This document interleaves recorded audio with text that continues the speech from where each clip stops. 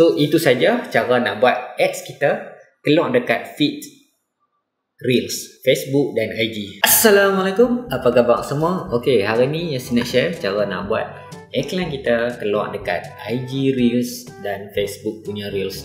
So, first kali hampa kena subscribe dulu Yasin Bro. Terahat gila. Tak apa komen lah apa yang patut.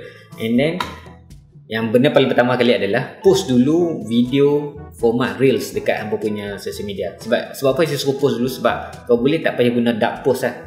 Sebab nak bagi kita bina engagement dulu siap-siap sebelum kita buat ads. Ha. So sini contoh ni video. Contoh lah apa jangan buat video macam ni. Video ni video lawak-lawak lah boleh tengok. Video dia. Ingat video dia kena portrait macam tu panjang. Macam biasa. Jangan buat 1080 kali 1080. So video dia dalam 30 saat Elakkan guna lagu yang ada copyright. Okay. So jom kita masuk ke Ads Manager Tekan Home Masuk Ads Manager. Sorry Yasin jat cepat lah Yasin nak bagi jadi bawah 5 minit. Okay Tekan Ads Manager. Oh cepat cepat cepat cepat. Okay tekan create. Eh sorry Pilih apa punya business asset. Apa punya asset lah. Yang add account yang bayar yang good yang yang link yang debit card apa semua top up semua tu. Lepas tu ambil uh, video view review dan continue.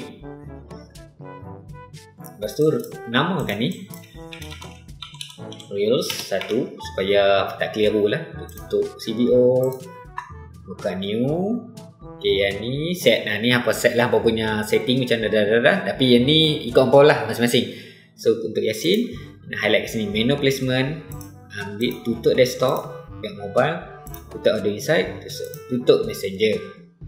Tutup feeds tutup story tutup in-stream tutup search tutup artikel dan biang oh ni nampak ni.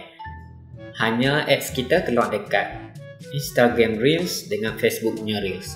So dia akan jadi macam ni. Bila tekan ads pilih kita punya page yang ada IG sekali ya kalau boleh supaya ada link lah dua-dua tu kembali using use existing post. So kita cari balik post kita yang tadi yang kita post tadi. Video mana video tadi tu? Oh, nah ini dia. Tara! Dah. So ingat tak tadi copywriting yang saya buat tu? 20 saat je tengok lepas tu enjoy. Dia hanya naik cukup-cukup lah.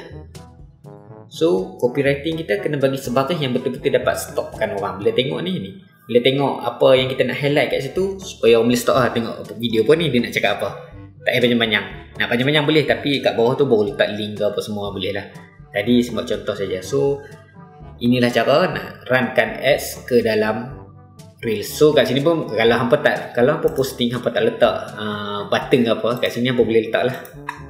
So pilihan nak letak apa learn more pun, nak letak download ke nak tak link WhatsApp pun boleh. Tapi still lah sebab dia tak ada tempat pun untuk pin button tu cuma dia just untuk dalam posting kat Facebook page saja nampak benda tu. Tapi dalam Reels rasanya tak, tak akan keluar lah button tu.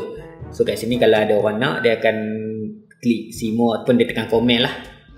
So itu saja cara nak buat ads kita.